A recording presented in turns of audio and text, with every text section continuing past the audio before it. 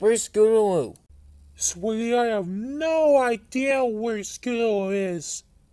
Wait, I think I know. You stole her! Don't get too difficult, Animal. What in God's name are you trying to do? I'm planning a marriage between you and me. So, take my half, Animal, and we can be together forever. Go on. It's not gonna hurt you.